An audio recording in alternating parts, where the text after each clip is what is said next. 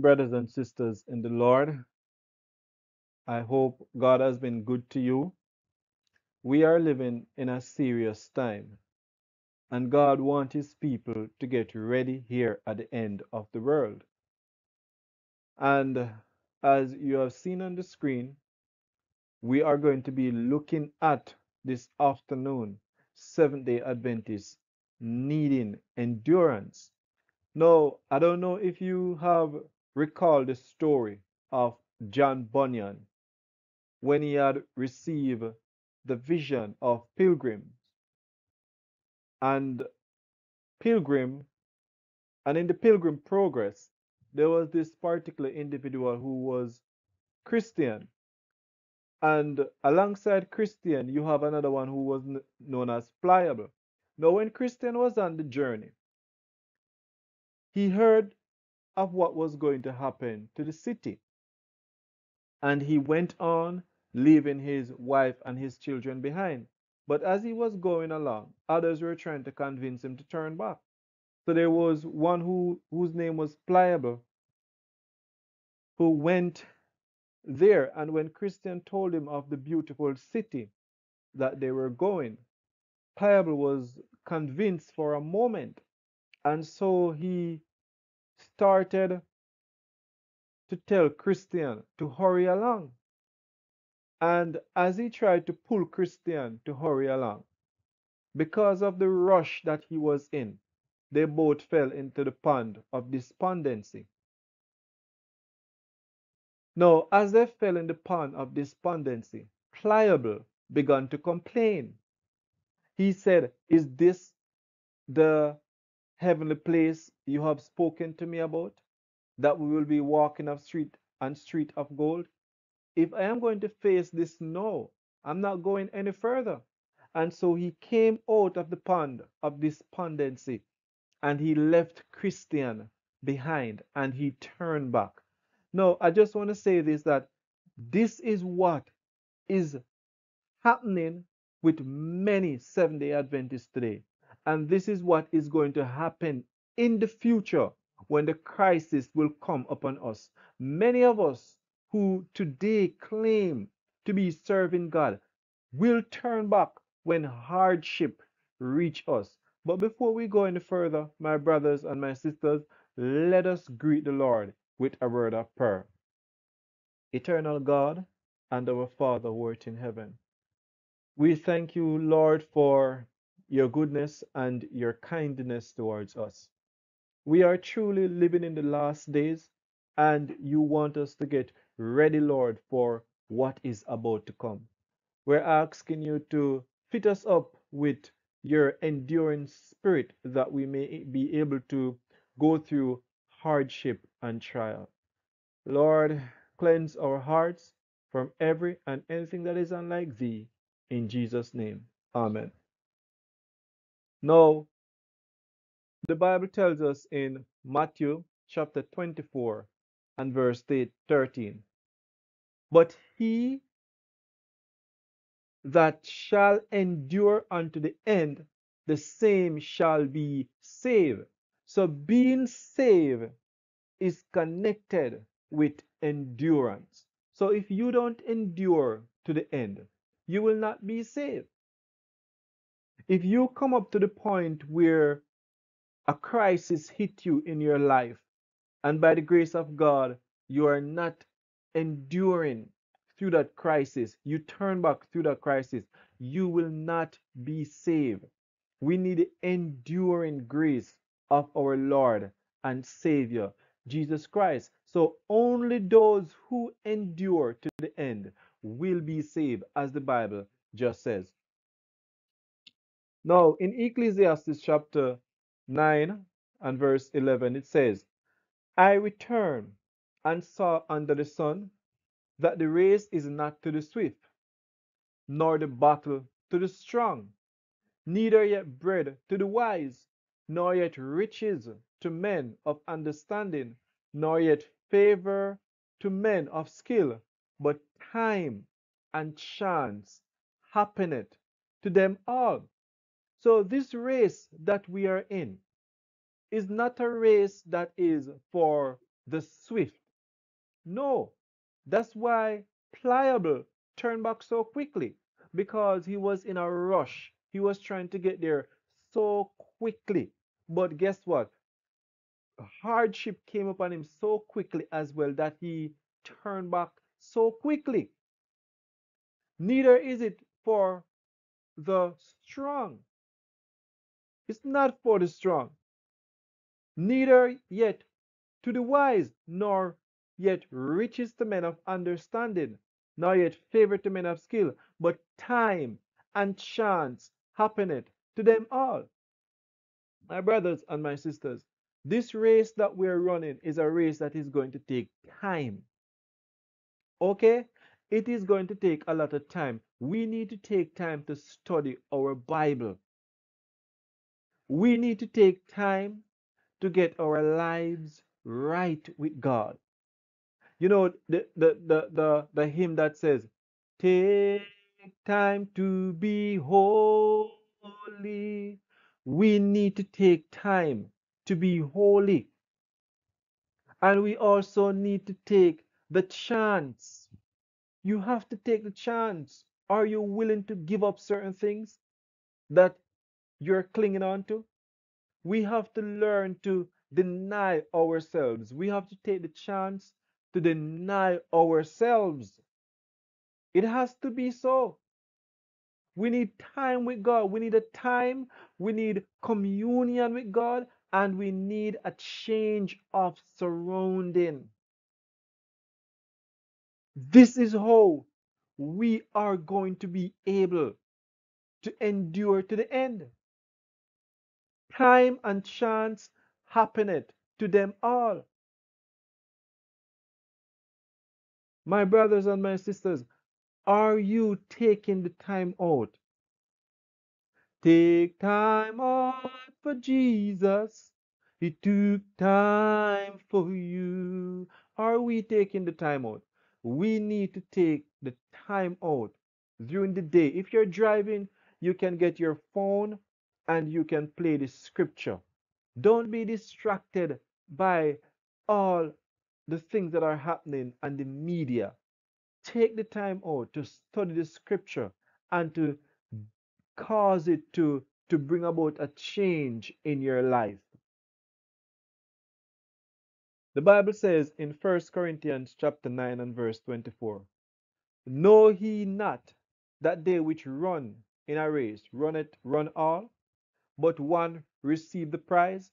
So run that he may obtain. And every man that striveth for the mastery is temperate in all things. Now they do it to obtain a corruptible crown, but we an incorruptible. I therefore so run, not as uncertainly, so fight I, not as one that beateth the air. Now, when we speak of this running here, my mind is being brought back to Habakkuk chapter 2, when the word came to the prophet Habakkuk, where he says, Write the vision and make it plain upon table. Right? And when it is written and made plain upon table, we must run with it. We must run with it because it is a race. Okay? We must strive for the mastery when we are running this race. And we are going to be temperate in all things. And true temperance brings in abstinence from everything that is bad and moderation in everything that is good.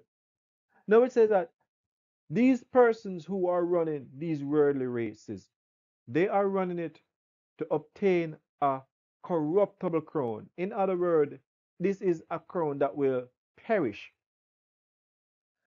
But we who are running the Christian race, we want to inherit an incorruptible crown. You know, the Bible says in Revelation chapter 2 and verse 10 Be thou faithful even unto death, and I will give you a crown of life. Are you able to go through the time period where scorn and scoffs will be thrown at you? Are you willing to give up everything for your Lord. I therefore so run, said Paul, not as uncertainly. No, he's not running with any uncertainty. He is running with surety. He is running believing the promise of Jesus Christ that he is going to give him a crown of life. So fight I, not as one that beateth the air. So he is fighting for something. You know, some persons they are fighting and they don't know what they are fighting for. We as Christians, we know what we are fighting for. We know with certainty why we are running this race. And by the grace of God, those of us who endure to the end, we will receive our sure and great reward. Matthew chapter 2, Matthew chapter 10 and verse 22. It reads, And he shall be hated of all men for my name's sake, but he that endureth to the end shall be saved. Now, let me tell you something. When in these last days you stand up and you start to proclaim the truth of Jesus Christ, men will hate you.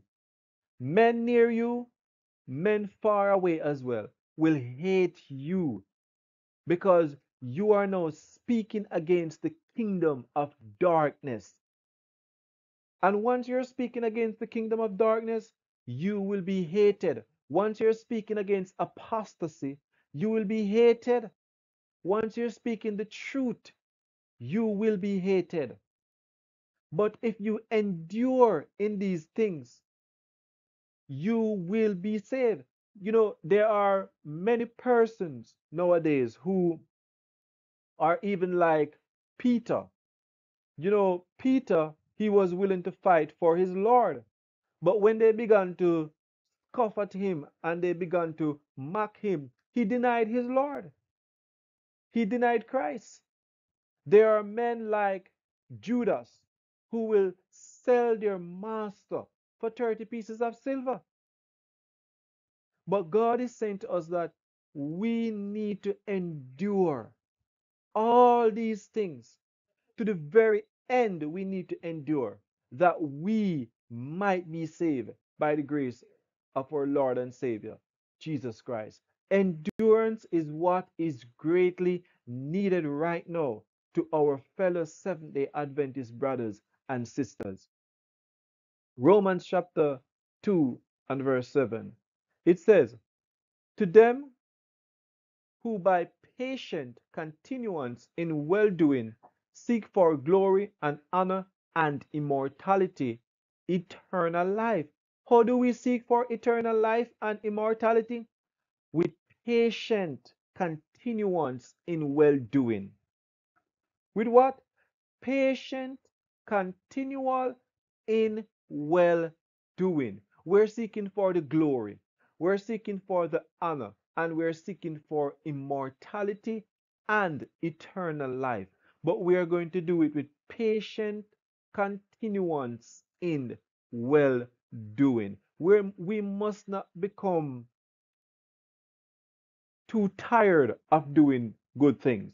We must continue to do good things as long as it lasts. And remember, we cannot do anything good of ourselves, right? So, in order for us to do anything that is good, we have to follow the thus saith the Lord. And so, therefore, we are going to speak Christ's words instead of speaking our own words. Amen. That's what God is calling us to do. Stop speaking our own words. We need to continue to do good. We need to continue to do good. Are you visiting the poor? Are you taking care of the sick and the, and the naked? Are you visiting the imprisonment? Are you doing these things to help so that when God comes, he can say, Well done, my good and faithful servant. Continue in well doing. That is what God is calling upon us for. Revelation chapter 2, verse 10. Fear none of those things which shall which thou shalt shalt suffer. Behold, the devil shall cast some of you into prison, that he may be tried, and he shall have tribulation ten days. Be thou faithful even unto death, and I will give thee a crown of life. Now, this was written for the time period of Diocletian, that Roman Empire, who were persecuting, who was persecuting God's people at that particular time, inflicting death upon them. But this is the message that God gave to them Be thou faithful even unto death, and I will give you a crown of life. My brothers and my sisters, that time is coming in the near future when your liberty of conscience will be taken away, when you will not be able to buy or sell, sell save he that have the mark of the beast. God said, if you be faithful even unto death, he is going to give you a crown of life. But if you receive the mark of the beast, you will only receive damnation. You heard me? You will only receive damnation. And I'm sure you don't want to receive damnation. So fight the good fight of faith and suffer for mm. godly sake, and you will be on the Lord's side by his grace. Second Timothy chapter 3 and verse 11. Persecutions, afflictions, which came unto me at Antioch, at Iconium, at Lystra, what persecutions I endure. But, but out of them all the Lord delivered me. Yea, all that will live godly in Christ Jesus shall suffer persecution. Now, Paul is here telling you that he was persecuted at so many different places. But he said what? He endured through them. And Christ had delivered him out of all of them. And then he says that every single one of us, all, he never said some, he said, all that will live godly in Christ Jesus shall suffer persecution. Let me tell you something. Many persons today don't want to suffer persecution. They want to live a carefree, careless life. They don't want to be afflicted by anything. They don't want to stand for anything. But God is telling us that we must stand for truth and for righteousness.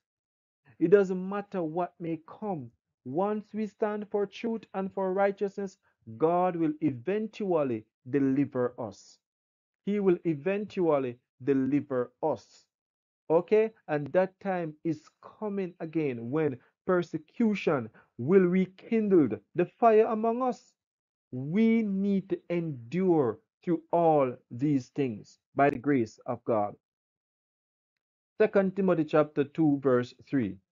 Thou therefore endure hardness. What shall you endure? Hardness as a good soldier of Jesus Christ. No man that warreth entangleth himself with the affairs of this life. What? No man that what? Warreth entangled himself with the affairs of this life. So we must not be entangled with all the affairs that are in this life because we are doing what? We are at war. And so the attention is needed to focus on the, on the enemy and his plots and his devices that he is using to try to distract our minds. He will use everything he can possibly use to distract us. It says, He that he may be pleased, that he may please him who had chosen him to be what? A soldier. So we have somebody to please. Who are we trying to please here? We are trying to please the one who have chosen us to be a soldier. And who is that person? It is Christ Jesus. Christ Jesus had chosen us to be a soldier. The Bible tells us we we must be a good soldier of Jesus Christ. And when we are being good soldiers of Jesus Christ, we cannot entangle ourselves with all the things that are distracting us. We have to please Him. And if a man also strive for masteries, yet he is not crowned except he strive lawfully. So this crown is one that will be given what? Lawfully. So we have to follow the law of Jesus Christ. And that's why he said, If you love me, keep my commandments. John chapter 14 and verse 15. Because it is a lawful striving that is going on. And if we are to be crowned with the crown of life, it is what? A lawful crown. It cannot be any unlawful crown because there will be no unlawful individual in heaven. Everyone who will be in heaven will be lawful citizens of heaven. Okay? Unlawful citizens will be imprisoned and then will eventually be prosecuted. Okay? So God is calling upon us to, to strive and to, to endure as good soldiers of Jesus Christ and to keep our minds focused on Jesus Christ and also focus on the enemy that he will not deceive us by the grace of God. Now, with this last scripture, I'm going to take this presentation to a close, but listen carefully to what it says in 2 Timothy chapter 2 and verse 10. It says, Therefore I endure all things for the elect's sake, that they may also obtain the salvation which is in Christ Jesus with eternal glory. It is a faithful saying, for if we be dead with him, we shall also live with him. Hmm. If we suffer, we shall also reign with him. If we deny him, he also will deny us. And I think this passage, the, these passages of scriptures are well chosen to end this presentation. If we endure, what will He do? He will give us what? Eternal glory. If we are dead with Christ, we will live with Him because guess what? He was dead, but yet He is what? He's alive again. He live again. And if we suffer, He had suffered. But if we suffer with Him, what will He do? He will cause us to reign with Him.